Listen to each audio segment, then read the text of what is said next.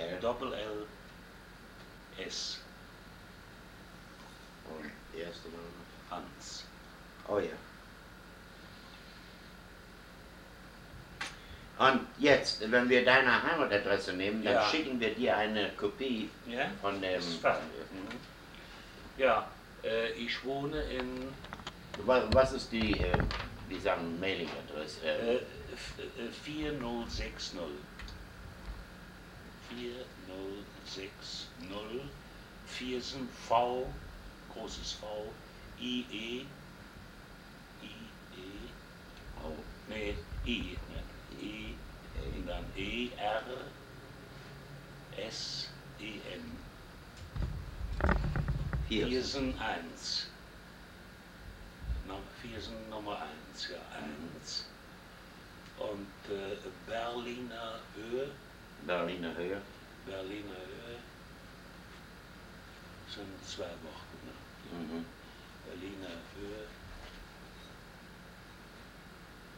36.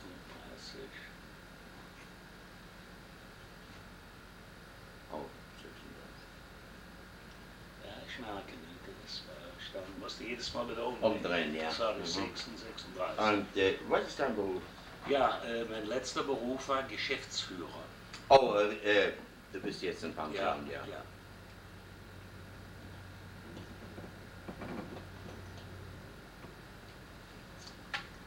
Und ähm, Geburtstag? 7.4.1921. April 1921, Ja. ja. April 7. 7. Ein Jahr jünger, jünger wie ich. Ja, du bist 20. Ne? Ich bin 20 geworden. Äh, und äh, wo? In Düren. Düren. D-U-R-E-N. Mhm. Düren Rheinland. RL. Damals Ja. hieß das ja noch Düren Rheinland. Düren, ja.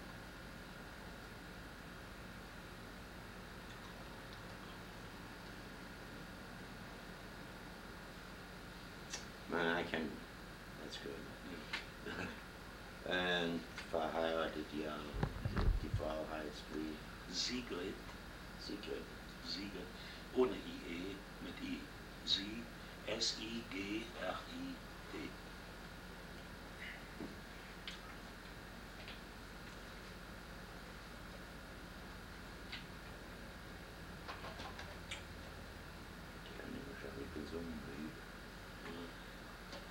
Geburtsdatum? Ja. ja. Äh, die ist geboren am 16. 1940.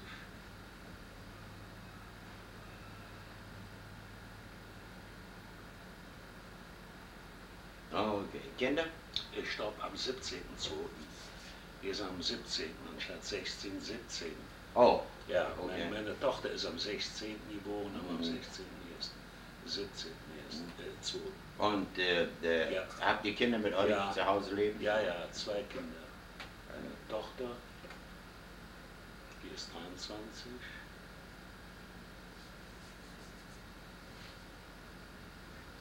Und der Sohn ist äh, 20.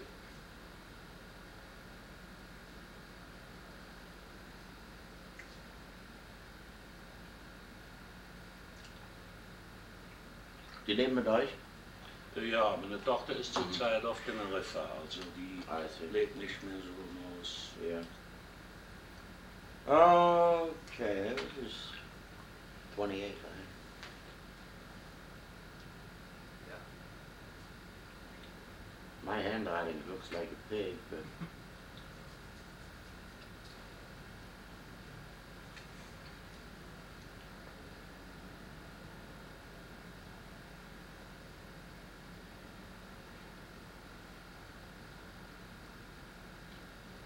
you want uh, you want to sign this interview, or you want me to sign a vote, or what? Let me look here.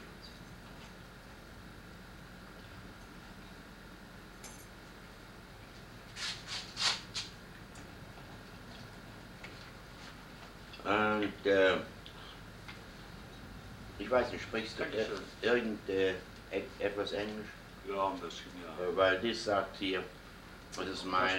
Verstehen, ja. äh, Das, Es ist in meinem Ein- Verständnis und mit meiner Zubilligung, äh, dass mein Tonband-Interview wird äh, vom äh, Oklahoma Geschichtsvereinigung und dass ich gebrauchen werde die Diskretion auf diese Organisation für historische, also für geschichtliche Zwecke. Ja, War das richtig? ja. Äh, ist Ja. das okay? Ja. Hm? Andererseits, wenn wir die Unterschrift nicht haben, dürfen wir das nicht benutzen. Ja, ja. Dann kommt jemand später und sagt, ah, ihr habt den dazu gezwungen. you know, Ja, das- nee, das nee, ist nee, nee, sicher, ist klar. Okay, um, you want date of birth and all that ahead of Oh, time yeah, again? yeah. Again? Yeah. Okay, oh, wir, uh, didn't see, didn't see. It's, that's written down. Yeah, but see. see. Yeah, uh, let me uh, see how I start. Um, nun, uh, ich sage dies in Englisch bloß Ja. für den Anfang. Ähm, wir verstehen uns, dass dieses äh, Gespräch freiwillig hier äh, zustande kommt. Und äh, die Interviewer ist äh, Carl Togert and uh, the interviewed, the subject is uh, Mr. Merls, M-O-E-L-L-S, first name Hans. Today is the uh, August 28, 1987 at 3.40 in uh, Muskogee, Oklahoma. So, jetzt fangen wir an und wir machen das in Deutsch, das kann später übersetzt werden. Ähm, Sie äh, sind, ich sag manchmal Sie, manchmal du. Ja, ich glaube, Äh, Du sind ehemalige. Ja, die Soldaten. Äh, Du bist äh, am ähm, 17. No, äh, am äh, Siebten. 7. April 1921 in äh, Düren, äh, Westdeutschland geboren Ja. Und ähm, hast eine Frau zurzeit äh, mit dem Vornamen Sigrid, äh, geboren am äh, 17. Februar 1940. Ähm, eine Tochter mit drei, im Alter von 23 Jahren und einen Sohn im Alter von 20 Jahren. Ja. Äh, nun, ähm, wo du geboren, wenn du geboren warst, ähm, 1921, äh, was, haben, äh, deine, was waren deine Eltern? Äh, Mein äh, Vater war Installationsmeister und war in, bei den Stadtwerken, mhm. weißt du, die Stadt stadteigene ja. Versorgungsbetriebe, Ja. Mhm. man sagen. Und, Meine äh, Mutter war Schneiderin und Hausfrau. mhm. und ähm, 1921, wir springen jetzt ein bisschen ahead, Ja. Äh, ich glaube, wir können sagen, wo du ungefähr zehn Jahre alt warst, hast du langsam gesehen, was um dich herum Ja. angeht. Äh, äh, wie war das zu der Zeit in, äh, in Düren? Ähm, sagen wir mal, fangen wir an ungefähr um die Jahre 1930, 32. Ja. Du meinst diese wirtschaftliche Ja, Situation? äh, alles im Allgemeinen. Ja.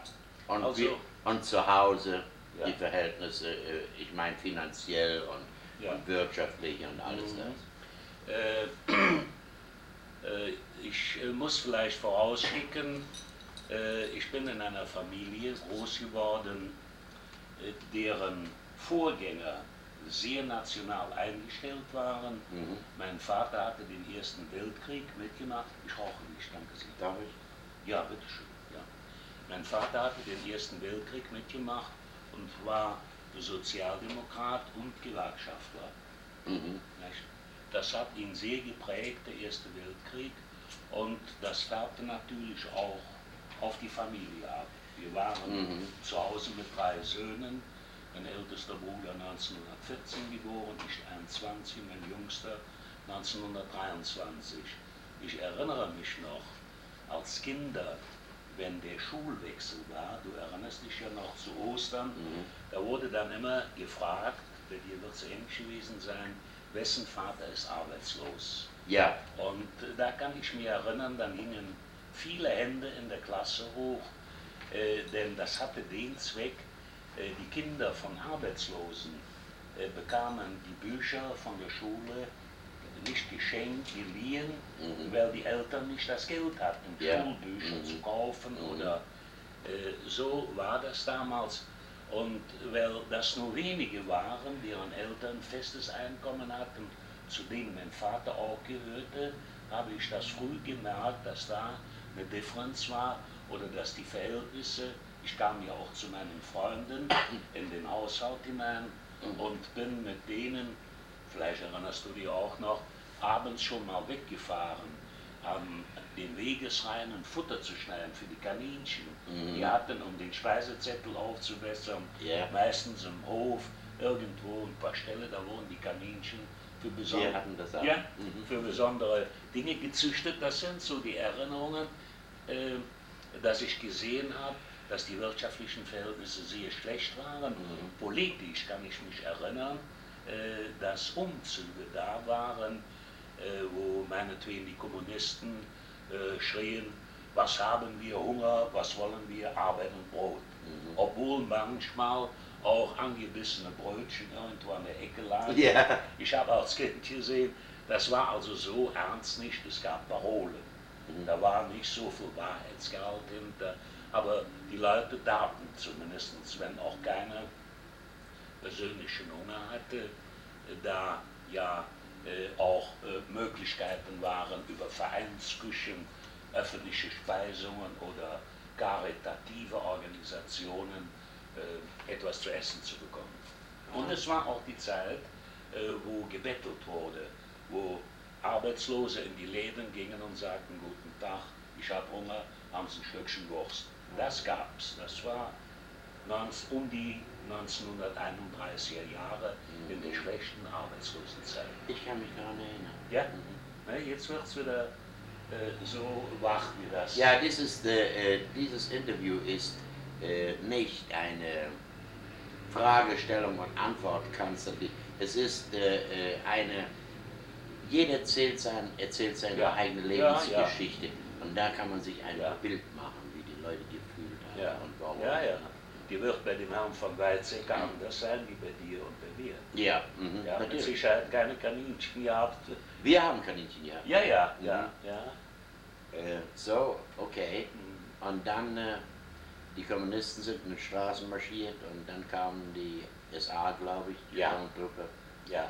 haben dasselbe gemacht. Ja, die schrien auch, nur die waren, die Kommunisten waren ja auch schon militant Mhm. mit den Hemden und den, Mhm. den nannte man das, Schulterriemen. Ja, Und die, dann waren die mal, waren Uniformen durch Hindenburg verboten worden. Mhm. Ich habe sehr früh angefangen, Zeitung zu lesen und weiß, das ist auch eine Erinnerung, dass ich oft lesen musste in Süddeutschland oder in Mitteldeutschland, in Leipzig oder Dresden.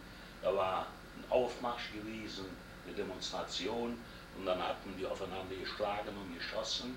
Und das haben wir im Nachkriegsdeutschland, ja Gott sei Dank, nicht, nicht gehabt. Zumindest das nicht. Mhm. Äh, und dann, äh, wenn Hitler an die Macht kam in 1933, äh, was hat sich dann entwickelt?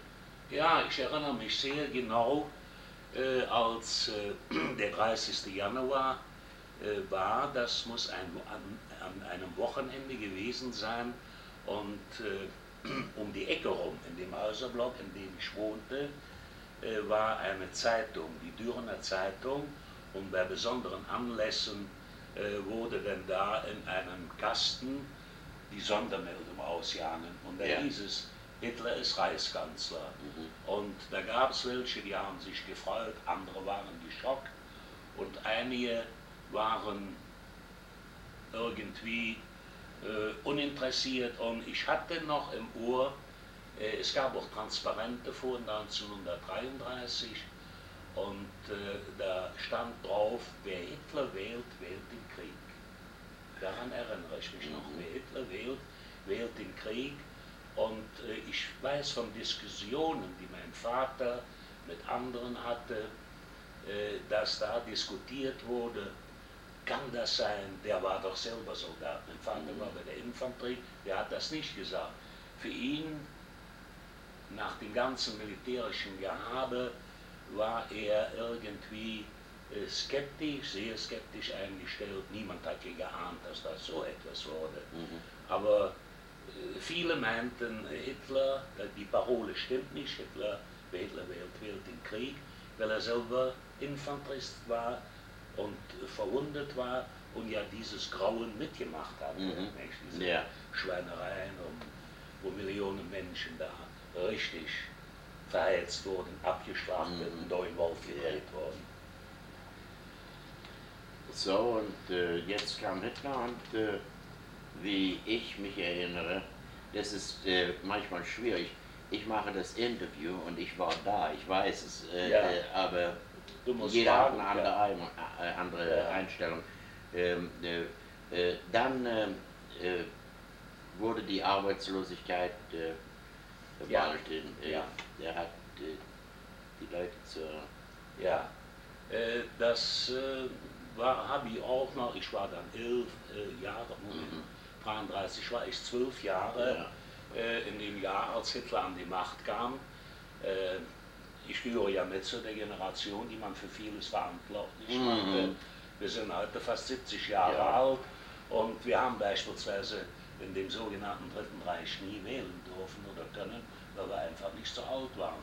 Und Ja. als wir alt genug waren, dann waren wir Soldaten. Mhm. Und, Da war keine Wahl. Ja, wir haben nie einen Einfluss darauf gehabt, das nur mal, äh, um das klarzustellen, wie weit die Einflussmöglichkeiten und bei welchen Jahrgängen das gelegen hat. Ich- Das ist sehr interessant. Ich möchte das in diesem Interview äh, besonders ausdrücken. Die Generation, die heute verantwortlich gehalten wird, Ja. hatte kein Wort in der Wahl. Die Nein. waren zu jung ja, und hatten keinen Einfluss auf die politische Entwicklung. Nein, ja, das, das ist, was ich hier dran haben möchte. Ja. Das ist sehr gut. ja. Und äh, die erste Zeit bei Hitler, äh, wir hatten vorher all die Arbeitslose, verhältnismäßig miese Zeiten, die Leute waren schlecht gekleidet und auf einmal war denn Arbeit da. Äh, worüber sich damals unterhalten wurde, war, dass es ein Unrecht war, diese sogenannten alten Kämpfer nun mit Vorrang unterzubringen. Mhm. Darüber gab es einiges böse Blut, Mhm. die wurden dann auch in Staatsbetrieben schneller befördert. Also da sah man, das war nicht so korrekt. Und äh, du kennst das alte deutsche Sprichwort, an der Quelle saß der Knabe, Blumen wandte sich zum Kranz. Ja. Diejenigen, die das aus dieser Perspektive sahen, sagten, naja, hätten die anderen wahrscheinlich auch gemacht. Ja. Aber äh, dann wurde es zunächst besser.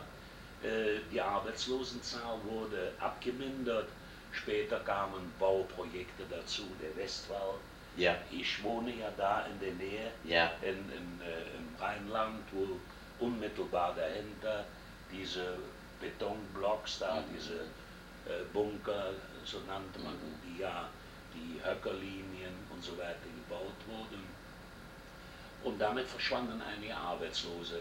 Dann wurde der freiwillige Arbeitsdienst ausgedehnt, die Arbeitslosen, die ja vorher von der evangelischen Kirche meist betreut wurden, Mhm. FAD hießen und als das nun obligatorisch wurde, hießen die ja RAD, Reichsarbeitsdienst. mhm. Vorher freiwilliger Arbeitsdienst und dann Reichsarbeitsdienst. Das war wieder eine Portion. Und die Nazis haben damals Geld gedruckt. Ich habe das als Kind nicht begriffen und viele Erwachsene wahrscheinlich Mhm. auch nicht. Ja, und dann war etwas mehr Geld da. Die Betriebe wurden dann organisiert. Es gab keine Unions, keine Gewerkschaften mehr. Der Chef des Betriebes, der hatte seine Gefolgschaft. Das wurde also patriarchalisch damals gemacht und es hat doch keiner mehr was zu sagen. Mhm. Und äh, die Demokratie wurde Zug um Zug abgebaut, die Gewerkschaften wurden verboten. Und ich erinnere mich, dass in meiner Heimatstadt ein Freund meines Vaters äh, auf das Dach des Gewerkschaftshauses geklettert war Mhm. und wollte die Fahne mit dem Hakenkreuz runterholen. Und das haben unten welche gesehen. Äh, der hat einen Bauchschuss bekommen, ist aber nicht daran gestorben. Der hat einen Bauchdeckenschuss bekommen. Äh, damals war man noch so fanatisch, heute würde äh, wahrscheinlich in Deutschland äh, niemand mehr wie in einem Stück Tuch Ja. auf ein Dach klettern und sich da die Gefahr aussetzen, dass er Mhm. da äh, runtergeholt wird Mhm. mit einem Blattschuss. Mhm. Das war in deiner Heimatstadt. In meiner Heimatstadt ist das passiert. In Düren, die Straße hieß Eisenbahnstraße. Oder ja, Eisenbahnstraße zu der Zeit. Mhm. Ich weiß noch, unmittelbar am Bahnhof war ein Gebäude, da war das Gewerkschaftshaus drin. Äh, ich bin oft wegen meines Vaters da gewesen, weil der auch da äh, Funktionär war, der hatte schon mal irgendetwas, ich musste schon mal etwas für ihn abholen. Und die äh, freien Gewerkschaften, die sozialistischen Gewerkschaften, nicht die Kommunisten, äh, die hatten damals, vielleicht erinnerst du dich auch daran, drei Pfeile. Das war die eiserne Front. Ja. Die eiserne Front. Die hatten drei Pfeile, weil die auch wahrscheinlich etwas militant wurden, den sogenannten Reichsbanner. So Mhm. auch die Organisation, die bei der SPD dann Ja. den Saalschutz übernahm. Denn die SA war, glaube ich, auch ursprünglich, nee, das war Sturmabteilung, aber die haben sich auch aus dem Saalschutz, um Redner zu schützen, haben die sich irgendwie entwickelt, wenn ich das richtig in Erinnerung habe. Mhm. Äh, so, ähm, nun, äh, alles ging im Großen und Ganzen aufwärts und gut in Deutschland zu der Zeit. Ähm, ja, es war zu erkennen, da gab es auch besondere Flops, würde man halt Mhm. sagen, äh, die äh, KDF, die Kraft durch Freude. Mhm.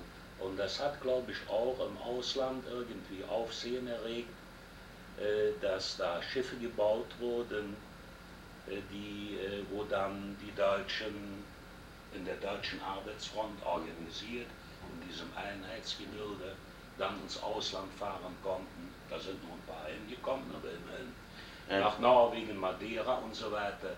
Das machte auch einen großen äh, Eindruck. nun, um die, um die Jugend zu interessieren, Ja, äh, Hitler hat diese ganzen Organisationen, das Jungvolk und die HJ und Ja, alles das ja. organisiert. Äh, na, du brauchst äh, zu jeder Zeit Mhm. irgendetwas, das du, wo du nicht drüber reden, reden willst. ja, ja, das sagen. no comment. Ja.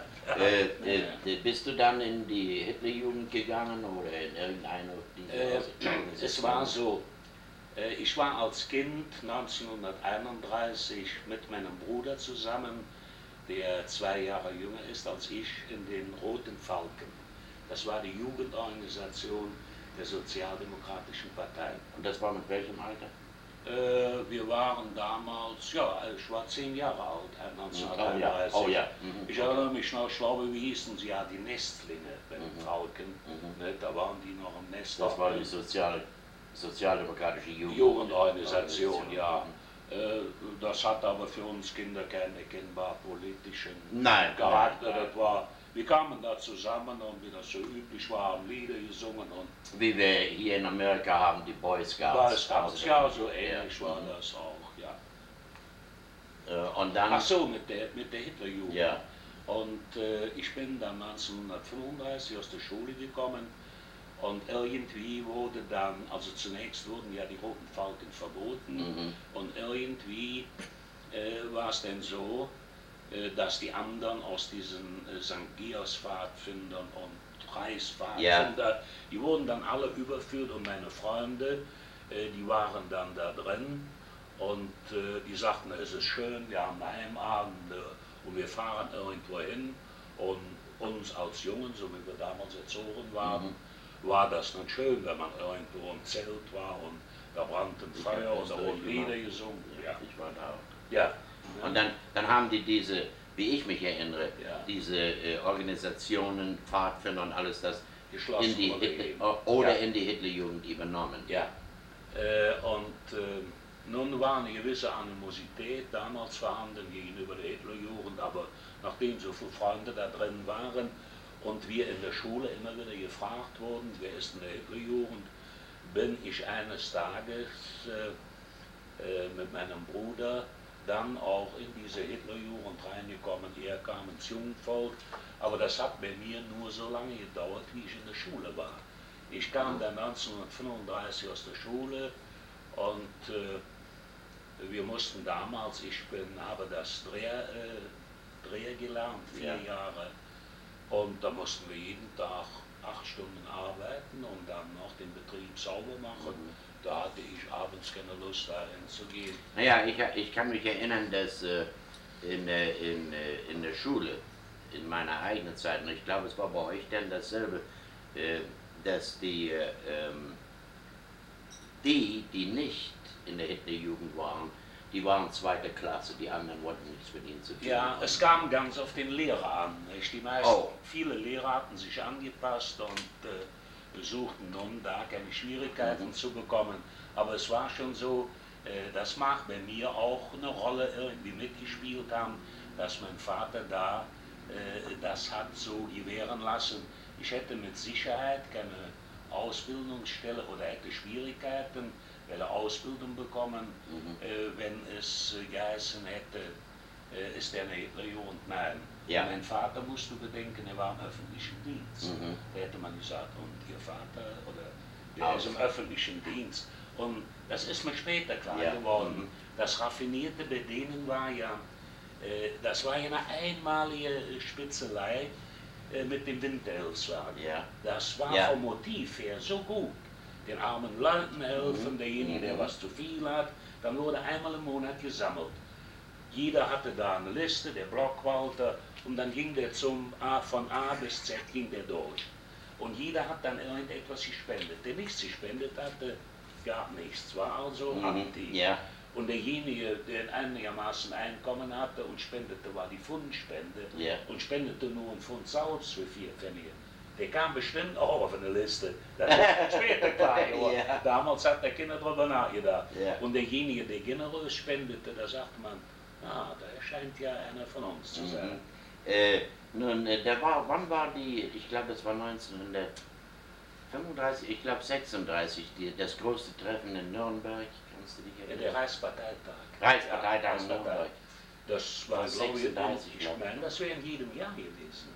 Ja, aber einmal war der, der, der, größte, das, die größte Zusammenkunft äh, und ich war da Ja. äh, äh, als Hitlerjunge. Ich weiß bloß nicht, ob das 1935 oder 36 war. Wir haben in Die- jedem Jahr die, die einen Reichsparteitag.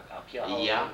Da Bist du auf einem von denen auch gewesen? Nee, nein, ich wäre beinahe mit dem Arbeitsdienst gekommen. Ich Oh. bin ausgebildet worden im Sommer 1939 im Arbeitsdienst. Dann wurden dann die Parademarsch und diese Spatengriffe, das kennst du Ja, auch. aha. Die wurden dann geübt, aber das, dann kam dann im September der Krieg und da hat es ja kein Reichsparteitag Aha. gegeben. Und äh, äh, nie wo- da gewesen. wo der, äh, ich war da, ich glaube Ja. 1935, äh, das war sehr, sehr groß, das war der größte, Ja. den die immer hatten. ne? wie die das organisatorisch da bewältigt haben. und- Heute kennt man was davon, äh, Essen, Trinken, aber die Toiletten, Mhm, das ist ja ein Problem. alles- Hunderttausende von Menschen, wo Mhm. machen die was hin? Mhm. Und du weißt ja, da unten in Süddeutschland, da gab es viel Bier, viele fuhren dahin, Ja. von den Erwachsenen, die protzen dann damit, wie viel Bier die da gesoffen haben. Vom Parteitag Ähm. habe ich nicht mitbekommen. So, wenn der Krieg anfing, warst du dann noch im Arbeitsdienst?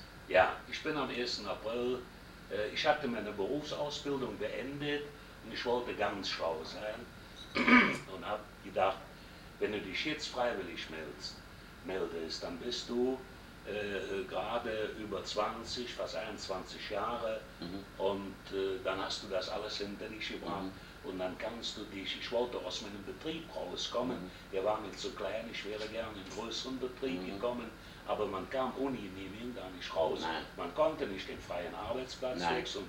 Für viele ist das heute nicht selbstverständlich, Mhm. aber wenn man erlebt hat, wie man in einem Betrieb nicht weiterkommen kann, im anderen kommt man weiter, man muss aber eine Genehmigung haben, dann erkennt man erst den Wert Äh. dieser Arbeitsfreizügigkeit. Was war deine Meinung, wenn äh, wir nach Polen einmarschiert sind, in, in, Frank äh, in Polen, wenn der Krieg anfing? Ja, äh, da kam das wieder zur Geltung, wer Hitler wählt, wählt den Krieg und das tut er nicht, er war ja selber bei der Infanterie. Ich weiß, viele Leute haben Angst gehabt. Mhm. viele Leute hatten Angst. Und auch schon aus dem Sudetenland. Mein Bruder ist ja in Die Übernahme, 1914, der war Soldat von 36 bis 38 und er sollte entlassen werden. Und da kam das mit dem Sudetenland, wie meine Mutter äh, damals gezittert hat, Mhm. dass da irgendetwas passiert und Mhm. ihr Sohn war nun äh, äh, dabei, war nun Soldat. Ja, ja. Also Äh, viele haben Angst gehabt und äh, haben gedacht, dass das geht nicht gut mhm. im und, Anfang. und dann, äh, wann bist du in, in, in die Armee gekommen? Ich bin Soldat geworden am 26. August, da war glaube ich die eine Mobilmachung 1939. 39. Wir behielten zunächst die Arbeitsdienstuniform, waren aber deutsche Wehrmacht. Mhm. Und wir hatten dann noch so eine Armbinde und dann nachher bin ich zum, äh, zur Infanterie gekommen, zum Infanterieregiment 39 nach Düsseldorf. Auch wieder eine kleine Und da war die Nummer. Rekrutenzeit in Düsseldorf dann. Äh, zunächst in Düsseldorf und dann kamen wir Infanterieregiment? 39. Oh, okay. Ja, bei der 26. Infanteriedivision. Äh, und dann, nachdem wir da ein paar Wochen Ausbildung hatten, wir waren ja schon im Arbeitsdienst, Ja, militärisch nochmal, dann kamen wir nach Polen, beziehungsweise in den polnischen Korridor nach Konitz. Konitz, das ist Im polnischen Korridor. polnischen Korridor, das ist ja... War das, wo der Krieg anfing? Wenn, wenn, äh, Nein, nein, nein, da war der Krieg schon vorbei. Der das, Krieg mit Polen war zu Ende. ja, ich wurde also ich bin im polnischen Korridor einmarschiert Ja. in Polen, ja. Du bist nur ein, du bist nur ein Jahr älter und warst da schon dabei. Ja, mhm. Äh, ich, War nicht weniger, warst du mit Sicherheit einer Jüngsten. Äh, Ja, nein, äh, äh, mit mir war es etwas anders. Ich war freiwillig zur Kavallerie gegangen. Ich war ein, äh, Ja. äh, ich habe internationale Turniere geritten als junger Mann, springen, Ja. äh, und ich wollte die Kavallerie. Äh, Deshalb aus bist du wahrscheinlich in so eine Liebe. Liebe, Liebe der. Pferde. Und ich meine, meine, äh, äh, wie sagt man, ich habe meine Zukunft mir so ausgedacht. Ich gehe zur Kavallerie und arbeite mich auf, um die, auf die Kavallerieschule in Hannover zu kommen, Ja. bekomme Offizier und dann reite internationale Turniere für Deutschland. Äh, So wie aber, aber natürlich, ja, aber natürlich, Ja. der Krieg kam dazwischen und das war das. Ich war Ja. in der Kavallerie. Und, äh, Ja, ja. äh, nur nicht. Ich wollte dir äh, nur das sagen, dass ich im polnischen Korridor, Korridor reingeritten bin von Danzig. Ja. Ach ja. Und ähm, so, äh, nun, ihr wart in Polen und habt da was gemacht. Ja, ich bin Besetzung. also, das muss November gewesen sein, also August, September, Oktober, die Ausbildung.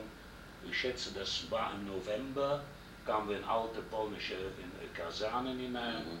und da kam der strenge Wind, erinnert sich noch, Ja, das ich- war oh ja. ein saukalt, ist da rein zugefroren, Mhm. der kann es heute nicht mehr, weil so viele Chemikalien drin sind. Da war ich die Zeit in, äh, in Polen, aber da war der Pol Polenfeldzug schon vorbei. Oh, okay. Dann war ich bis zum äh, Januar da und dann haben wir diese Fahrt oben von Polen also über diese vereisten Flüsse gemacht. Da war es ja saukalt. Da bin ich zum Westwall gekommen, zu meinem Regiment, zum Infanterieregiment 39 und die lagen damals an der luxemburgischen Grenze bei Echternacher Brück gegenüber lag Echternach hell erleuchtet. Und das war vor, dem, Luxemburg. vor, vor, Vor die Invasion in. Frankreich. Ja, Ja. vor dem Westfeldzug. Mhm. Und dann sind wir ins Saargebiet gekommen und von da aus ich habe im, ich. im, im, im, äh, im Saargebiet war ich, äh, bevor wir Frankreich angegriffen haben. Ja, Auf der Höhe haben wir Frankreich Ach angegriffen. ja, ja, ja, über Sedan dann, diese historische Route. Ja. Ja, wir sind dann auch nach Frankreich eingestoßen und als der Feldzug zu Ende war, waren wir. Äh, seid ihr dann äh, als Kampftruppe ja, nach ja, Frankreich ja, sicher. reingegangen? Wir hatten in unserer Kompanie, äh, die kriegsmäßig so 180 Mann, 250 Mann, glaube ich, Sollstärke und Iststärke, waren vielleicht so 200 Mann. Da hatten wir, ich glaube, etwa 30 Tote und viele Verwundete. Es war unwahrscheinlich. In der Kompanie? Hoch. In der Kompanie. Wow. Ja, das war unwahrscheinlich hoch. Und als der Frankreich-Feldzug zu Ende war, da waren wir in der Nähe von Val-le-Duc, da am Argonnerwald, der im Ersten Mhm. Weltkrieg eine Rolle gespielt hat. Doch, wir hatten damals äh, schwere Verluste, ja.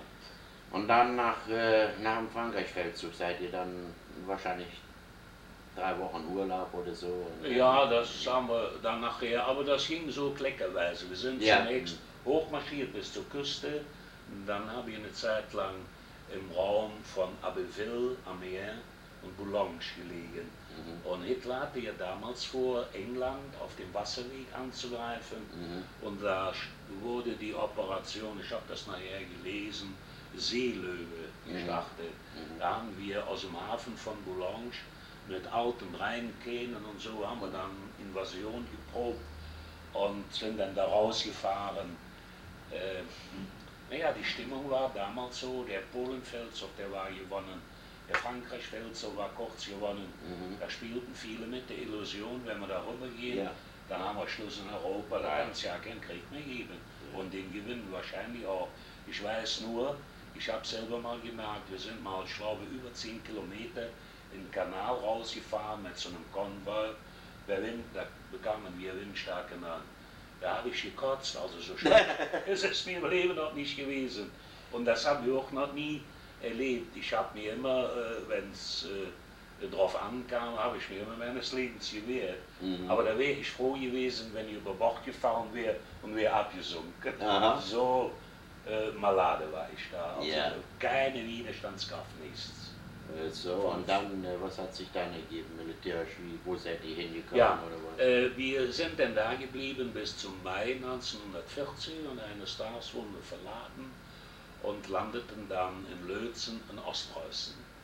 Mai 1940, das Äh, Mai 41. 1941, 41 ja, ja. Mai sein, ja. 1940 war der. Frankreich-Feldzug. Mhm. Ich erinnere mich noch, als wir in Pommern, in, da gibt es doch so einen Meridian in Pommern, so eine Mittagslinie, so ähnlich wie in Greenwich in England. Wer heißt das noch? In, naja, ich komme nicht mehr drauf. Ich kann auch nicht daran. Also so einen ganz besonderen geografischen Punkt. Als wir da waren, ich habe mich morgens irgendwo gewaschen, so schnell vom Güterwagen runter und da kam ein Eisenbahner.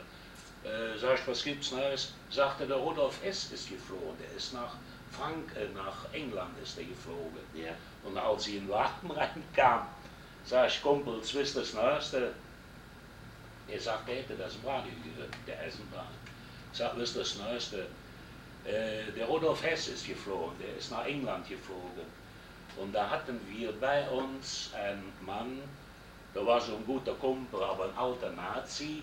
Und der hatte auch, der war schon SA-Mann 1925, 27 oder so, war also ein ganz alter NS-Angehöriger. Und die Nazis hatten den als äh, Wärter im, im, im Gefängnis oder irgendwie, der war auf jeden Fall Beamter geworden. Mhm. Und das spielte ja mit der Arbeitslosigkeit im Nacken, spielt das eine Rolle. Der war eines Tages mal Be Beamter. Ja. Wir waren nun auch eingezogen. Da sprang der aus der Ecke raus und wollte mir einen Kragen.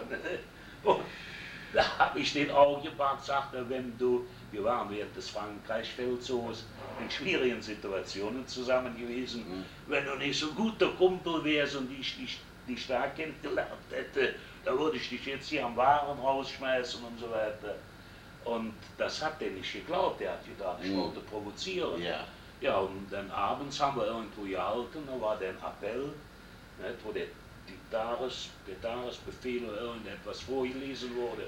Da wurde das Essen eingeteilt, so und so viel jeden das empfangen und der zog über den Fliegerschutz, wie so die Abwicklung war. Und da las der Spieß, der las das denn vor. Der Stellvertreter des Führers, weiß ich, ist im Anfall geistige Umachtung nach England geflogen. Da guckte der mich an, ich hatte mit dem Kopf genickt, und hatte sich nachher bei mir entschuldigt. Aha. Der ist später in Russland das Ehefrau. Aber das, das war dem wie eine Gotteslästerung, Ja. Dass der Ja. Hess da hingeflogen war. Joe, can I ask you a favor and cut it off for a second? I want to go out Ja. there. Äh, ich, ich muss schnell. So, wo waren wir? Äh, wir waren nun äh, nach dem äh, äh, äh, Frankreich-Feldzug. Ja, seit, ja, Hess. Ostpreußen, ja. Wir haben noch äh, über Hess gesprochen. Ja. Und ihr seid dann wohin gekommen? Nach, wir wurden ausgeladen in Lötzen, Ostpreußen, Ja. da war diese Seenplatte, Mhm. war ein wunderschönes Gebiet. Ich Mhm. habe es noch in Erinnerung, dass da sah ich die ersten Störche in Nestern, Ja. in diesen kleinen Dörfern und äh, überall diese kleinen Seen. War eine herrliche Zeit. So. Mhm. Die Ruhe vor dem Sturm. Ja. Ja, Und dann, äh, dann nach Russland?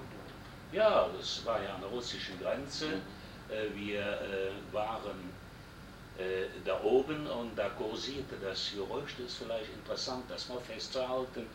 Wir hätten mit den Russen einen Vertrag gemacht. Bis zuletzt hat der Russe noch Getreide und alles Mögliche rübergeschickt. Mit denen einen Vertrag gemacht, wir könnten durchmarschieren, weiß ich wohin, nach Indien, nach Baku, der Ölquellen und wo da die Rede von war, um den Engländer in die Zange zu nehmen. Viele haben das geglaubt, die Mhm. so ein bisschen geografische Vorstellung hatten. Und äh, als es dann anfing, ich glaube, das war am Samstag, am Sonntagmorgen, am 21. Juli. Ja. Was? Das war 1942. 1941, 41. 41, ne? Da war denn der Angriff auf Russland. Äh, wir sind, äh, wir haben dann, wir haben uns an die, äh, das Ding nennt man den Suwalki-Zipfel. Ja. Das war so ein, ich glaube, da ging es nach Litauen rein früher, Mhm. war ja auch von den Russen kassiert. Und bis zum Schluss wussten wir nichts. Und dann sind wir am Samstagabend bezeichnenderweise, und, und das war also ein schlechtes Omen, an so einer Friedhofsmauer angetreten und dann las dann der Kompaniechef vor an die Soldaten der Ostfront. Ja, habe ich gedacht, verdammte Mist.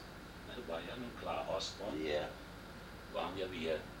Ja, und dann äh, sind wir äh, dann in eine Stellung eingerückt, in Bachlauf äh, rein und äh, da waren die Felder abgemäht, da war Heu und äh, dann haben wir uns da so in Stellung gesetzt, es wurde kalt und kälter und wir bekamen Bescheid, äh, um 3 Uhr morgens, da war Artillerievorbereitung, 10 Minuten Mhm.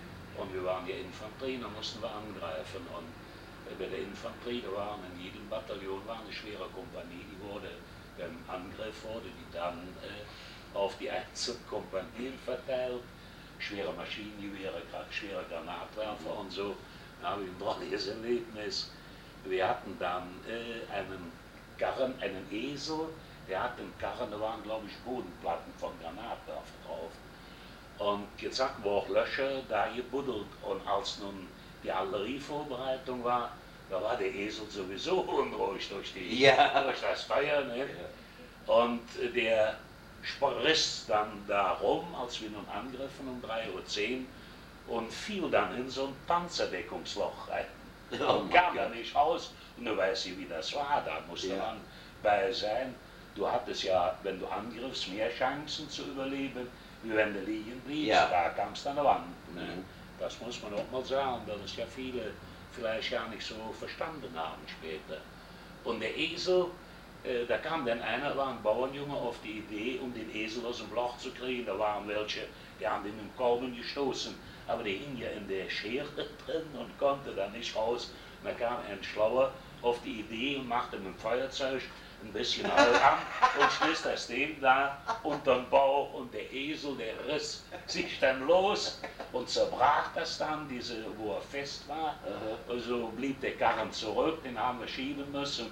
Und das war wahrscheinlich der erste Deserteur der deutschen Armee und war wahrscheinlich der Schlauste von uns. Das. Der Esel war ab, der verschwand irgendwo weiter ferne über der Ecke im Wald. Der Esel war weg. Morgens um 3.10 Uhr am 21. Juli. Ich habe dann gedacht, wie in dem Loch lag, verdammt nochmal, jetzt liegen deine Eltern zu Hause und schlafen, mein Bruder Ja. wohnt noch zu Hause, wird die morgen früh im Radio hören, was hier im Zirkus los ist. Ja. Da wird meine Mutter wieder Rotzenwasser haben. Äh, so, äh, und dann, wie weit seid ihr nach, bist du nach Russland reingekommen? Ja, ich bin dann äh, im Mittelabschnitt gewesen. Das war, äh, oh, wie ist denn noch, in Richtung Witebsk war das. Und äh, ich habe noch eine Erinnerung am, ja, am 21. Juni. Äh, Am, am 17., am 21. Juni war das. Und am 17. Juli, da ist, äh, da habe ich mich eben falsch ausgedrückt, war nicht korrekt. Der Krieg fing am 21. Juli an und am 17. Juli fiel schon irgendwie eine größere Stadt. Ich bin dann später verwundet worden. Ich habe Splitter ins Bein bekommen und äh, Verletzungen an der Hand und äh, wollte zuerst gar nicht äh, zurück. Also äh, nicht, weil ich so tapfer war, aber ich wusste, wie schlecht das war. Ja. Wir haben mal Gefangene gemacht, da waren 400 Russen und wir bekamen, ich stand den Auftrag mit drei anderen, die äh, zurückzubringen. Mhm. Wir hatten keine Verpflegung, überhaupt nichts und haben uns dann mit so einer Gruppe da irgendetwas besorgt. Die haben Hühner geschlachtet und da sah ich zum ersten Mal, die machten die Hühnerdärme sauber und spülten die gut aus und hackten die klein. Und äh, ich habe so einige grausame Dinge gesehen, äh, dass mir das alles besonders sympathisch war, kann ich nicht sagen. Aber als wir den Abend so zusammensaßen, wir hatten keine Belästigungen durch Flieh oder sonst was, die hatten die Russen vom Himmel geholt in den ersten Tagen, mit Mhm. ihren Raktas und. Und äh, die sangen, saßen dann da an so einem großen Holzstoß zusammen und sangen. Die können ja haben ja wunderbare Lieder.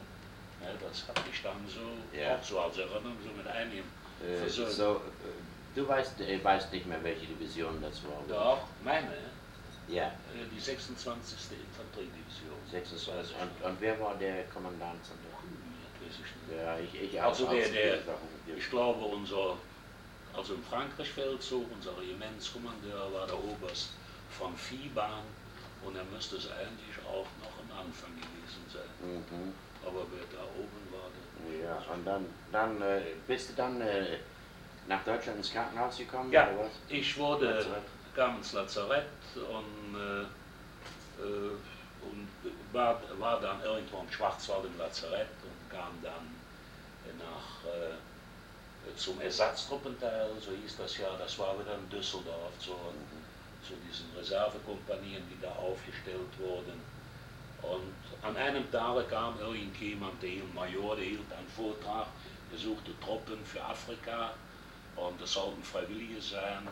Äh, Man musste einen Feldzug mitgemacht haben und nicht bestraft sein, das war ja sehr schwierig, denn äh, so ein äh, Patara-Arrest hatte man ja schnell eingefangen. Mhm. Ich habe mich auf jeden Fall mit einem Freund gemeldet und das hat mir auch nicht leid getan. Wir sind dann äh, über Landau in der Fall zum Ersatztruppenteil gekommen und ich war dann im Juli 1942 äh, sind wir dann von nach Athen runtergefahren und wurde dann vom Flugplatz Athen zum Flugplatz nach Kreta und von Kreta nach Tobruk geflogen. Aber das war dann eine andere Einheit, war es nicht? Ja, ja, ja, das war das Afrikakorps, das war das äh, Panzergrenadierregiment 115, Mhm. äh, wo ich dann bei war, die 15. Panzerdivision.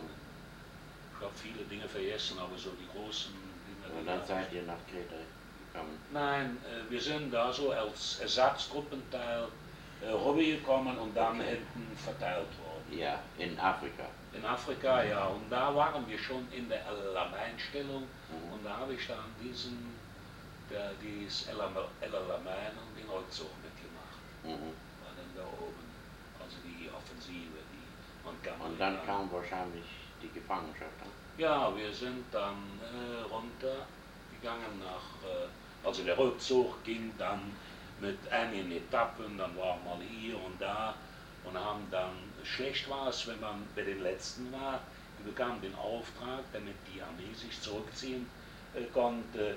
Äh, Pioniere haben dann vermint, wir mussten dann bis um eine bestimmte Zeit halten. Die wurden Mhm. meistens aufgeregt, aber so eine Art Todeskommando. Ja. Und als wir das aber einmal gemacht haben, äh, da haben wir Glück gehabt, der Engländer hat das nicht gemerkt oder wollte nicht angreifen. Wir sind auf jeden Fall bis um eine bestimmte Zeit heil zurückgekommen und wurden hinten von so einer Propagandakompanie mit einem schönen Film empfangen.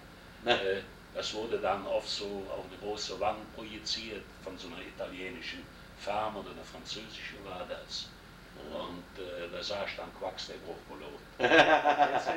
Ja, habe ich gesehen. Quacks der Bruchpilot. Ne?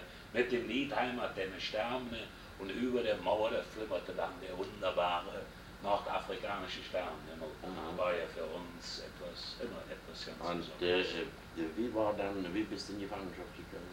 Wo? In der Nähe von Grumbalia m, mit den Engländern, da waren ja unsere alten Freunde von der 8. Armee. Mhm.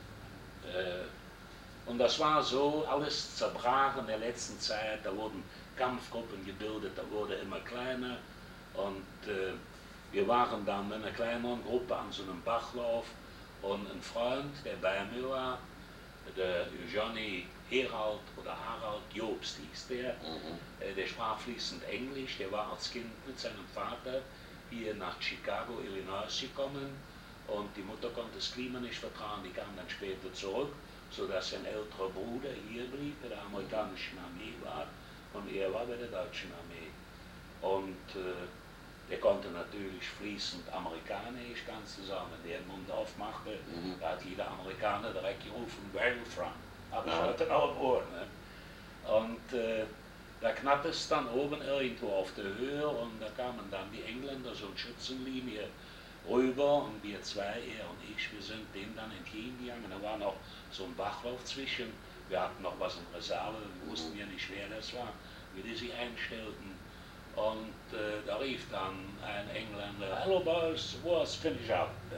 Aha. Und äh, naja, wir haben uns dann zusammengesetzt und wir hatten noch was Tee darum geschmorgelt, da haben sie noch was mitgetrunken. Da haben wir, zum Teil hatten wir noch Waffen dabei, NATO-Ladung und sowas. Das haben wir dann unterwegs vom LKW geschmissen. Und die englischen Soldaten haben sich noch dafür eingesetzt. Da war eine italienische Farm in Tunesien. Da haben wir ja, wir hatten noch Geld Mhm. und wollten da ein paar Kanister Wein mit ins Gefangenenlager nehmen. Ne? Da haben die uns rausgeschmissen. Die waren vorher sehr stark, äh, natürlich staaten sie so, so Deutsch-Franken hatten jetzt Angst, uns etwas zu geben. Und äh, da haben die Engländer noch dafür gesorgt, dass die Italiener uns von ihrem Wein Gegenbezahlung abgaben.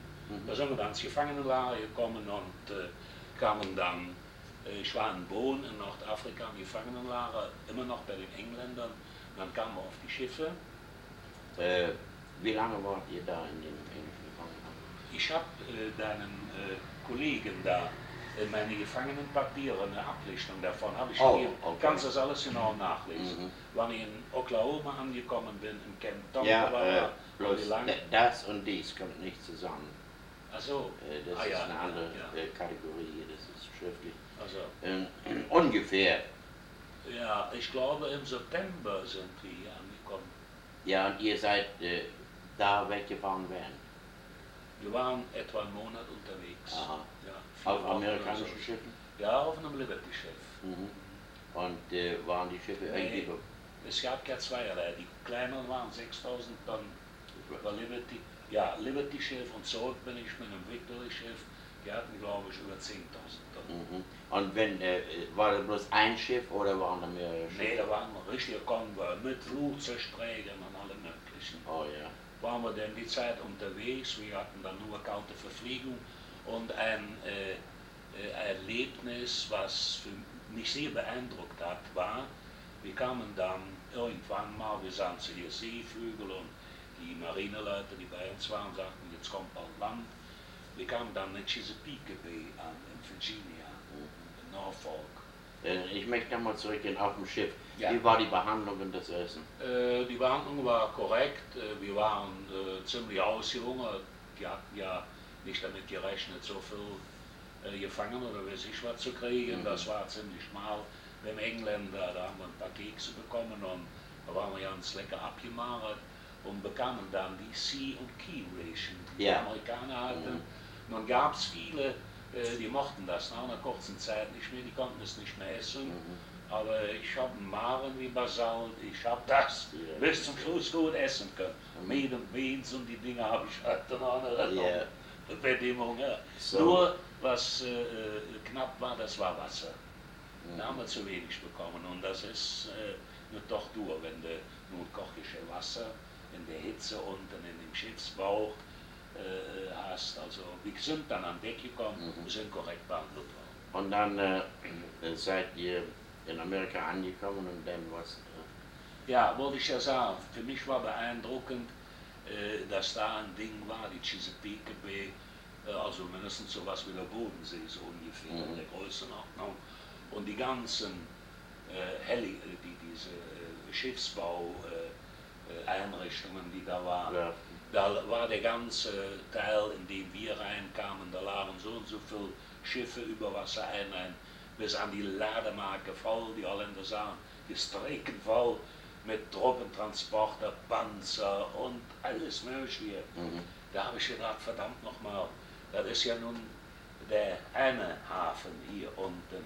Nun haben die an der ganzen Küste noch mehr. Und alles arbeitet in drei Schichten. Beleuchtung, bei uns war hier die Verdunklung. Mhm. Dann haben die noch die Pazifikküste. Mhm. Ich habe so immer ein bisschen Spaß an Geografie gehabt. Ich habe auch gedacht, der Anstreicher, der hat da nichts von gewusst. Mhm. Ne? So, da war bestimmt kein und Rohr. dann von da seid ihr wohin gekommen? Äh, dann sind wir äh, zuerst einmal geschickt, ab, äh, untersucht worden und dann hat man uns in Zug gesetzt und nach ein paar Tagen waren wir dann in Tonkawa hier in Oklahoma. Oh, und äh, war das äh, äh, ein, äh, ein Frachtzug oder ein Personenzug? Ein Personenzug, ja, die hatten die Fenster, die waren so, wir konnten unten rausgucken, aber oben habe ich in Erinnerung waren Bretter, Mhm. sodass wir äh, kein volles Fenster hatten, Ja. sondern so unten sahen wir dann die Landschaft und Mhm. die Leute, wenn wir schon mal Behandlung auf dem Zug, Essen und Trinken gut? Gut, ja, nur wo wir uns, was dann das erste Erlebnis war, dieses Eiswasser. Mhm. Ne, Das, äh, wir waren ja darauf gedrillt, äh, nichts Heißes, äh, nichts Kaltes, so was. Kaltes Mhm. zu trinken und auf einmal war da Eiswasser, wo stand natürlich Posten bei und jeder musste sich melden, das ist ganz klar. Und äh, das Eiswasser so, das war eines der ersten Eindrücke, dass wir in einem ganz anderen Land waren, die eben da andere Geflogenheit Mhm. essen und trinken. Und äh, äh, so, jetzt warst du in Oklahoma und äh, wie bist du dann zu diesem Lager gekommen, hier nach hierher? Wie, wie Nee, in Gruber bin ich nicht gewesen. Oh! Nein, Oh. ich war nicht in Camp Gruber. Das bezieht sich hier auf Oklahoma, dieses äh, ja. Gespräch. Und, und das war Camp was? Äh, Das war Camp Tankoa? wo dieser äh, Mord dann passiert ist. Mord. Ja, der Mord, äh, das wurde ja auch gestern gezeigt mit den Kunze. Hast du das Das habe ich nicht. hast du nicht bekommen? Mhm. Äh, wir sind aus diesem Lager gekommen, wenn hier eine Baracke lag, dieser Kunze, äh, der dann äh, den Amerikanern Mitteilungen gemacht hat. Und das ist auch das, was mich bewogen hat, hier das vielleicht mal festzuhalten. Äh, der hat äh, den Amerikanern äh, Mitteilungen gemacht über Gespräche, die er in der Baracke hörte. Da war Mhm. unter anderem ja, war unter anderem, dass in, Amer in Hamburg irgendetwas war, wo an der Alster was getarnt war. Ich habe das nicht mehr so genau in Erinnerung. Und auch andere Dinge, die erzählt wurden, meinetwegen Marinesoldaten, die äh, überflüssig waren oben am Atlantikwall um die Zeit. Die wurden dann irgendwo in der Lüneburger Heide, na ja, Motorsportschule, sowas habe ich in Erinnerung, wurden die umgeschult und wurden dann äh, zur Armee geschickt, weil wir ja in Russland Verluste hatten. Und das hatte er irgendwie auf einen Zettel geschrieben und irgendwie ist der Zettel zurückgekommen und äh, dann war abends mal äh, Appell, manchmal stimmten die Zahlen nicht, wenn abgezählt wurde. Mhm. Wir hatten ein Lazarett dabei und andere, die waren in der Küche bei den Amerikanern Mhm. eingesetzt. Wo ist das Lager? Ich will ihn fragen, wo das ist. Äh, Tan Tankawa? Oklahoma. Wer ist der? Ja. Uh, Ponce City. It's, Oh, it's up Bunker City. Mhm. ja. yeah. Fragen mal, ob ihr das gestern Abend gesehen habt. Äh, Im Fernsehen. He wants to know whether you saw the uh, uh, the Tankawa camp yesterday and something about uh, a Corporal Kunze that was uh, spying against. Oh, uh, I, I know the story. Yeah. Uh, he's buried at El Reno in the Okay. German cemetery. Ja, Ja. ich äh, habe das in der Kompanie miterlebt, wie das passiert ist. He, he was there when it happened. Ja. Oh, I'd like to get the story. Mm, we're talking about Ah. it right now. Ja. Äh, er, er, er möchte das in Einzelheiten hören. So Kunze, äh, was war sein erster Name? Sein Johannes, glaube ich. Johannes Kunze. Äh, Der war, der hat äh, gegen euch für die Amerikaner gespitzelt. Ja. Hat sich da beliebt Ja. Und dann war's. Dann ist äh, der Zettel irgendwo ins Lager reingekommen und dann wollte man, jetzt wusste man ja noch nicht, wer es geschrieben hat. Mhm. Das wollte man, das sind alles Dinge, die ich gehört habe, das, was ich gesehen habe, sage ich dir. Ja, Nachher, ja, ja. Wo ich wirklich sage, hier bin ich jederzeit bereit, das zu behalten. So ist das gewesen. Ja, äh, der Zettel kam, dann drei Namen, die gedacht, wir kriegen wir die Unterschrift raus. Und dann ist einer auf die Idee gekommen und hat gesagt, ähm, es sind verschiedene Briefe verloren gegangen, wir konnten ja mit der Heimat korrespondieren. Aha. Und wenn jetzt jeder einen Brief schreibt, dann werden die in einem Bündel zusammengepackt, nach Portugal geflogen und die Post kommt unbedingt an. Und so hat sich jeder hingesetzt und hat den Brief geschrieben, hat gedacht, also da kriegen die zu Hause Bescheid. Die haben die dann irgendwie kontrolliert Mhm. und haben dann gesagt, das ist er. Mhm. Der war bei mir in der Kompanie, in meiner Baracke, der lag so drei Meter, vier Meter von mir schräg hinüber. Er war nicht besonders beliebt, er ist tot und ist lange her. Ich will Mhm. darüber nichts Abfälliges sagen, aber Freunde hatte er nicht gehabt. Mhm. Und äh, dann haben die gesagt, ah, das ist der Kunze. Und dann hat man abends einen gesagt, das passierte oft, dass die Amerikaner sich verzählt hatten oder irgendetwas nicht gestimmt hatte oder es hatte sie einer nicht richtig abgemeldet. Und dann wurde so lange gezählt, bis feststand, wie viele Leute im Lager waren. Mhm. Man Wie viele Leute waren da im Lager? äh, 3000. In jedem Mhm. Cage waren 1000 und jede Mhm. 1000 hatten vier Kompanien, Ja. 250 Mann. Und aus den 3000 habt ihr den einen ausgefunden? Auf dem Weg? Ja, ja, ja, auf Das diese. Art. Mhm. Und äh, das war, das ist alles von, wir hatten unseren demokratisch gewählten Kompaniechef. Mhm. Das konnte ein Obergefreiter sein, das war aber in dem Fall ein Feldwebel, das hat Mhm. ihm natürlich das Leben gekostet, oder natürlich nicht so sehr. Äh, ja, und äh, wir sind dann in der Baracke drin, abends hat alles geschimpft, äh, Antreten der Baracke, da saßen wir am Tisch und konnte man leicht nicht sehen, es war auch abends Mhm. und war schon kalt und dunkel und äh, waren alle zusammen und ich hatte schon gesehen, dass da irgendetwas war, da standen so ein paar Hirten an der Türe, ne, um vielleicht mal zu packen, wenn einer abhauen wollte. Ja, und dann sagte dann der Kompaniechef, der Feldwebel, sagte der Kameraden, es ist ein Verräter unter uns, wir haben das und das festgestellt. Natürlich die Rufe, wer ist das und so weiter. Und das habe ich nun miterlebt, das Mhm. habe ich selber gesehen. Der saß hinter mir am Tisch. Das waren die Tische bei der amerikanischen Armee, war das wahrscheinlich überall so, so ähnlich wie bei uns in den Parktischen in Deutschland. Ein Tisch und fest damit verbunden, so ein Sitzbrett auf beiden Seiten. Und da wurde auf einmal so geraunt und gewispert, da ist der Kunze. Und ich drehte mich um. Wir hatten alle die Mäntel an, weil die Kuschelbaracke nicht geheizt war, war glaube ich November. Da sitzt er da. Also uns war es kalt und dem, Ja? in dem lief der dicke Schweiß am Gesicht runter. Mhm. Und dann wurde der Name genannt und da ging schon irgendjemand hin und packte den an Kragen voller Hut. Das war die Zeit, Mhm. äh, wo die äh, große Bombenangriffe waren. Auf der, Ja. auf der Hinfahrt weiß ich noch, dass irgendein amerikanischen Staff Sergeant oder was das war, der zeigte mir einen Freund, der ja in Amerika gewesen war, eine äh, Zeitung, da waren dann die Umrisse von diesen verbrannten Stadtvierteln in Mhm. Hamburg. Und der wohnte in Hamburg, war verheiratet und hatte zwei Kinder und verriet dann von Hamburg etwas eigentlich unverständlich. Mhm. Der Kunze, Mhm. trotzdem seine Familie da wohnte. So habe ich es noch in Erinnerung. Mhm. Ja, und dann war dann äh, verschiedene versuchten den zu schlagen, verschiedene haben geschlagen oder wenn sie konnten, haben sie ihn getreten und die Amerikaner hatten dann so eine Art, die so morgens bekamen, wo so, so runde Dinge, da wurde Porridge drin angemacht, Cornflake und Mhm. sowas. Ne? Da wurden da schön säuberlich eine Pyramide gebaut. Da waren dann welche, konnten die an den Rand kommen, die versuchten dann mit dem Ding zu schmeißen, schmissen die einem anderen an den Kopf. Und einer, das war noch unser bester Fußballspieler, der trat dann in die Scherben rein, der hat dann wochenlang nicht gespielt, das hat man dann auch in Erinnerung gehabt, weil unter den einzelnen Kompanien Fußball gespielt wurde. Ja, und äh, Das waren ehemalige Fremdenlegionäre. Na, dann was, was, was ist mit Kunst passiert? Ja, ich erzähle dir weiter. Oh, okay. Der, äh, das war ein ehemaliger Fremdenlegionär äh, und der muss da auch schon so Schweinereien gemacht haben, dass er Kameraden angeschissen hatte.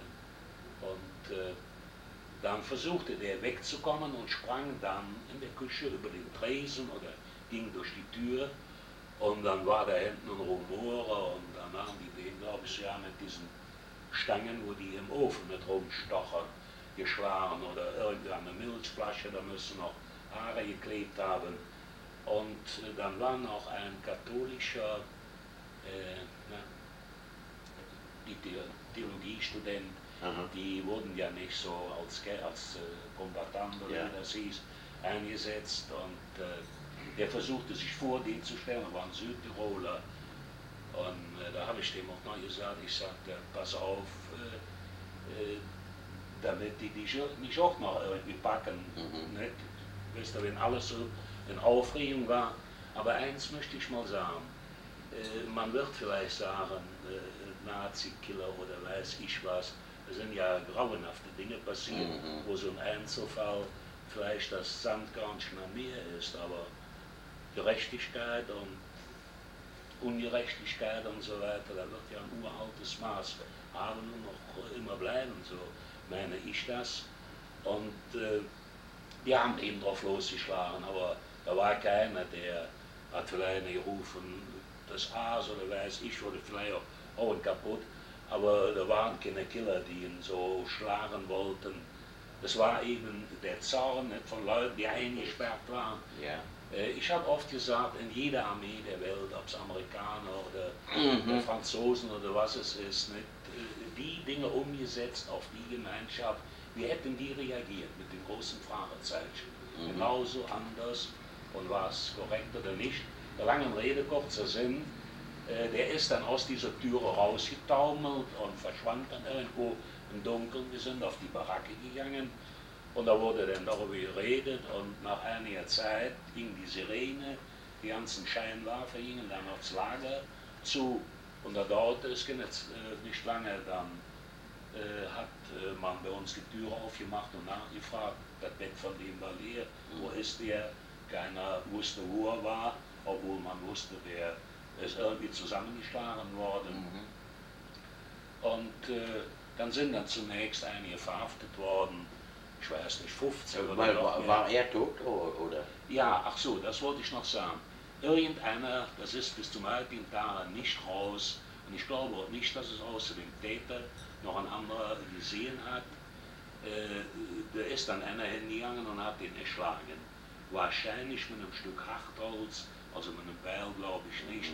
Er hat dem über den Schädel geschlagen. Das wurde auch gestern noch auf dem Bild gezeigt. Das war Mhm. sehr undeutlich, ja, man konnte sehen, er hat eine ganz schwere Kopfverletzung und äh, der muss glaube ich auch tot gewesen sein oder Mhm. hat da nicht mehr lange gelebt. Äh, Da sind auf jeden Fall einige verhaftet worden und das wurden immer weniger. Unsere Kompanie hat man aufgelöst. Wir kamen dann, glaub Was haben die mit den Verhafteten gemacht? Wieder losgelassen? Äh, die wurden dann untersucht. Äh, zunächst hat man in, uns wieder in diese Baracke reingebracht und da erinnere ich mich noch, äh, die pickten dann sich einzelne Leute raus und beleuchteten die, ob sie Blutspuren hatten.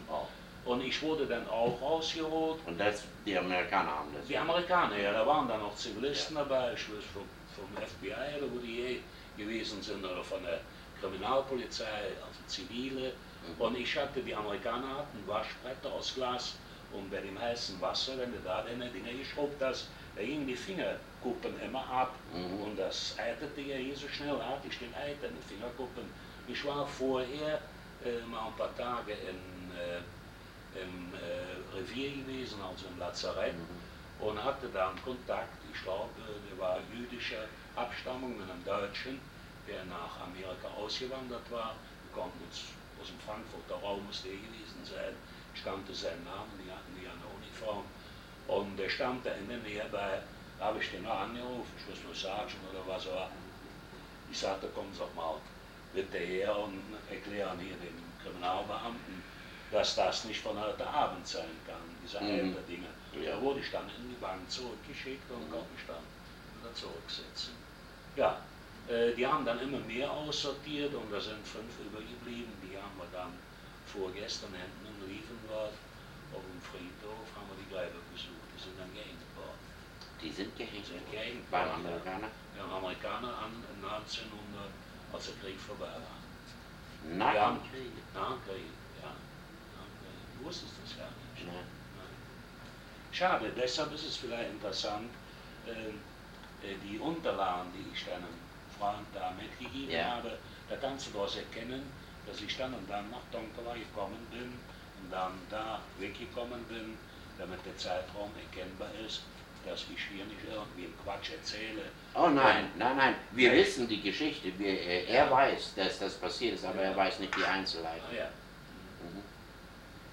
Ähm, Ich bin der Einzige, der das erlebt hat, die anderen waren ja im Camp Gruber. Mhm. Da sind die nachher aus wo, unserem die, Lager. äh, äh, äh, wo die die gehängt haben, war das im Lager? Nein, in der, in dem, äh, in der Haftanstalt in Lievenwald, Auch. in dem Gefängnis. Das ist das Mhm. große Militärgefängnis, ich glaube, das ist 100 Jahre Mhm. alt. Die haben dann so eine Treppe rausgebaut, einen Galgen da oben reingebaut. Dann haben die fünf gehängt und dann nochmal sieben U-Bootsleute, die einen totgeschlagen haben. Mhm. Also in drei Etappen, wenn ich das in Erinnerung habe, äh, sind die da gehängt worden, das wollte ich sagen. Äh, So, und dann äh, äh, warst du im, in dem Lager wie lange? Bis wann? Ich weiß es nicht mehr im Einzelnen, aber das steht alles in einem Entlassungspapier. Und Äh, da steht und und äh, wir sind dann in Sommerlege reingekommen, wo wir Baumwolle gepflückt haben. mhm. Morf, die Behandlung war im Allgemeinen. war im Allgemeinen gut. Ja. Prima. Ja, bis zum Kriegsende und als dann diese Buchenwald und all diese schlimmen Geschichten da nun rauskamen, da hat man uns die Rationen runtergesetzt und äh, das möchte ich auch noch sagen, das war interessant. Äh, da ist es uns dreckig gegangen und es wurde erst besser, als die Amerikaner die entlassenen Soldaten, als die in Gefangenschaft gewesen waren, äh, als Posten, als Guards bei uns einsetzten. Mhm. Und da weiß ich, dass viele gesagt haben, äh, was ihr jetzt da mit den Deutschen macht, da waren Schlauköpfe, die kamen auf die Idee, uns kein Salz mehr ins Essen zu tun. Wenn du draußen im Wald arbeiten musst, Mhm. dann kriegst du dann noch ein paar Tage hier, Entzündungen und Ja, so weiter. ja. Äh, Wir haben uns dann geholfen und haben diese Salzsteine von den Viehweiden Mhm. mitgenommen, haben das klein gemacht, da wurde dann nicht so schlimm. Und erst als die kamen, die in Deutschland äh, als Gefangene gewesen waren, äh, die haben vieles positiv verändert. Mhm. Äh, na, wie viel Zeit brauchst du fürs äh, Bankett fertig zu werden? Ja, Zeit, ja? ja, ja es wird Zeit. Also, dann machen wir es kurz. Äh, äh, du bist dann äh, wann nach Hause geschickt worden von hier? Ich bin von hier im Frühjahr 1946 nach Hause, äh, nee, nee, nee, nicht nach Hause gekommen, nach Europa. Da kamen wir zunächst nach Belgien, wieder zu den Engländern hin. Die haben uns dann mal kräftig ausgehungert und äh, da sind auch viele Sachen, die wir uns hier, die bekamen ja Geld und wir Mhm. arbeiteten 80 Cent pro Tag. Unsere amerikanischen Bolldicken und so, die haben die alle äh, geschnappt und haben gesagt, da gingen die nur mal mit der Hand drüber und sagten, ja, die werden jetzt gestapelt, die werden nach Deutschland geschickt, denen geht es schlechter als euch. Wir bekamen da so englische Pferdedecken für, Mhm. die haben die verscheuert da. Ja. Und da haben die da schwarzen Markt verscheuert. Und äh, dann, äh, wann ging es nach Hause? Äh, von da bin ich nach England gekommen und bin 1947 dann nach Hause gekommen. Im Mhm. Sommer am 31. Juli oder 1. August 1947. Okay, na, vielen herzlichen Dank. Ja. Das Interview ist, ist sehr interessant und äh, Ich wollte vielleicht abschließend nur sagen, also ich bin dankbar für die Zeit, wo ich hier war. Ich habe einiges gelernt ja, und viele Dinge, äh, so hart wie manches war, setz dich hin. Äh, das ist, ist die letzte Frage. Warum, was hat dich hier dazu bewegt, hierher zu kommen und äh, wieder den Platz zu besuchen oder die Plätze Ja, zu besuchen? äh, weil mir äh, das Land gefallen hat. Äh, ich habe oft zu Hause erzählt, äh, als ich in Oklahoma war, da ist es mir immer so vorgekommen, als wenn der Himmel da höher und, und der Himmel weiter gewesen Mhm. wäre. ne? So war der Eindruck von damals. Ich bekomme das heute auch besch- äh, wieder im Eindruck, es ist ein wunderschönes Land Und ich habe es auch gelernt, der sogenannte American Way of Mhm. Living Ja. ist wirklich etwas Schönes, etwas Erstrebenswertes. Man sieht die Enge Europas im Vergleich zu Amerika. Mhm. Es ist ein Land, was eine schwierige Aufgabe durch die beiden Weltkriege bekommen hat und äh, da kann man alles gut Ordnung Und das hat dich wieder zurückgebracht. Ja, und ja. auch, weil ich meiner Frau mal äh, zeigen wollte, wo Ja. ich in der Zeit war und auch die Erinnerung, es, es gibt überall gute und schlechte. Wir haben das beide auch in unserem Leben Natürlich. aufgenommen, unfreiwilligerweise festgestellt. Äh, ich äh, mag Amerika. Mhm. Ah, das war sehr interessant und war sehr schön und nochmals vielen Dank für Gut. das Interview. Sehen wir uns heute Abend? Ja, ich, ich kann mal rüber. Ich habe nicht viel Zeit, mich fertig zu machen auch.